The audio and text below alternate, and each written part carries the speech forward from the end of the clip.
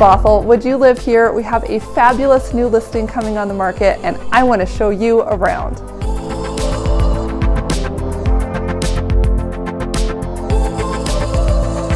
Another episode of Would You Live Here?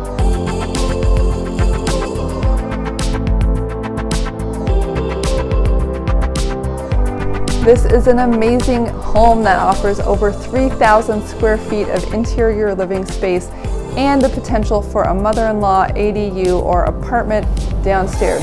Let's take a look. The home is situated in East Bothell, close to Woodinville, kind of the formerly unincorporated area near Highway 9. And we have a wonderful feeling of being in the woods with this lot. It is a huge wooded lot. Uh, as you look out the windows, you see trees. You do not see into your neighbor's kitchen. So I really like that about the house.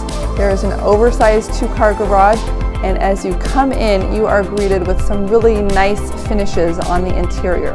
The whole home was extensively remodeled in 2008 and it looks fantastic. So here in, as you come into the house, you'll see the beautiful living room and there's room for a TV, fireplace, a baby grand piano. In addition, there's a formal dining room and in the back, one of my favorite spaces, just a wall of windows and skylights. What a great place to enjoy the outdoors and especially since it's visible from the kitchen. You could be sitting here in the kitchen making all sorts of food and enjoy looking out these windows in all directions. You'd rather look at people's smiling faces though, we've got you covered because there is a wonderful uh, breakfast bar here that actually can seat eight people, if you can believe it. So your whole, you know, friends, family, group, whoever you're entertaining could sit here, keep you company, drink a glass of wine. Maybe your kids are doing homework, whatever the case may be. There are a lot of options for dining here. I hope you like food. Now, adjacent to this sunroom is a wonderful large deck with, uh, you can grill out here. There's room for a picnic table and it really overlooks the, the treed area. Wonderful space to enjoy outdoors. Off of the kitchen, you'll find this huge office, which is just amazing. So many people are working from home now. I do want to add that if you wanted to, this could very easily be a third bedroom. I imagine that it was at some point. It has a door to the hall and a closet, so you could easily put a wall up here and have a third bedroom if that's your preference.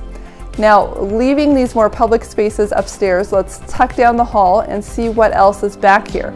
We have a great full bathroom with uh, plenty of counter space, the shower, and then coming into the back, we have two bedrooms upstairs. We have the master bedroom suite, which has room for not only the bed and closet, but a nice large window looking out into the woods. I don't know how many times I have shown houses where the window is like you can't open it when you're in the bedroom in your pajamas because all the neighbors will see you or all the cars will see you as as they're driving by. So I really like the privacy that this master bedroom affords.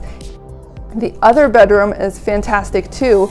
Uh, not only does it have all the basics, it has a huge glass sliding door. So if you wanted to use this as a workout space potentially or an office space potentially, you could really open that up in the summer, get that fresh breeze coming in from the woods, uh, just something to enjoy and certainly lots of light at any time of day. Let's head downstairs and see what this space is like. There are so many options down here. It has two bedrooms, a full kitchen, and a large flex space. Now this could very easily be something that you rented out a few rooms. It has its own private entrance. It has its own private driveway. So if you are inclined to house hack, have a roommate, have family that stays for months and months, have a nanny that needs to take kids in and out without bothering you upstairs, you have a lot of options with this floor plan. If that doesn't appeal to you and you don't want any strangers in your house, well, I totally get it. So you could easily use this as a wonderful rec space, I imagine. All sorts of people coming down here to play cards, to watch movies, on, to play, you could have a pool table, foosball, all sorts of games and hobbies could take place down here. And it is absolutely huge. You could even uh, turn it into a home gym and run laps around the downstairs, you could really get a lot of exercise. Now down this hallway, much like the other hall, uh, two bedrooms and a laundry room and three quarter bath. They've got a shower, right? So lots of counter space in this bathroom, very uh, spacious bath. And then the laundry room has room for a full washer and dryer, as well as the furnace, which is here, which was installed in 2009. If you do like a cooler environment, there's a house attic fan as well, which really can pull cool air through the house, especially in the summer. A lot of us don't have air conditioning. It's great to have all these little tricks as far as knowing when to pull the cool air in from the outside and then when to close off the windows and trap that cold air in during the heat of the day. Before we wrap up, I'm sure you're curious about the yard. This house has a wonderful lot. It's been very nicely landscaped and it is low maintenance. If you look around, you will notice there is no grass for you to mow here. The woods keep things relatively cool and shaded. Uh, you can put down bark, maybe do a little weeding once in a while, but there is a lot less to do in this type of landscaping. We've got hardscape with the patio, the gravel, we've got wood chips, and we've got shade, all of which can help create a cool, soothing ambiance as well as less lawn to take care of. You know what I'm saying?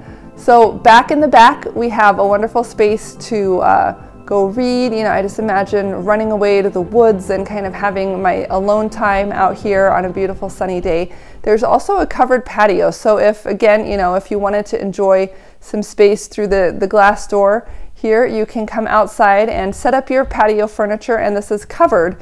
So it's not gonna get wet down here. In addition, there's wiring. When they put in the uh, kitchen, they put in enough wiring for a hot tub. So if you did ever want to install a hot tub, that should be relatively easy.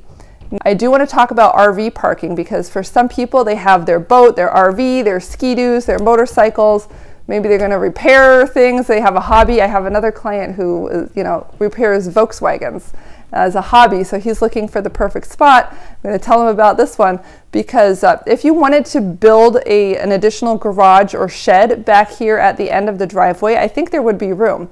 But we have such a wide, flat gravel driveway here, this could probably fit three cars across uh, and easily long enough for an RV and or a boat, you know, possibly multiple things. And this comes right out onto 228th so it's a, a straight shot onto the road. There's a backup area as well if you should so desire. So, wow, I hope you have enjoyed this amazing home tour. Would you live here? I hope so. We have more information available on our website or if you call. So make sure that you visit us and schedule your own private viewing.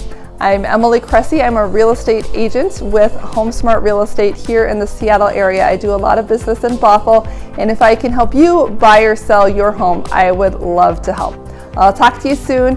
Have a good one, and make sure you come out and see us here in Bothell.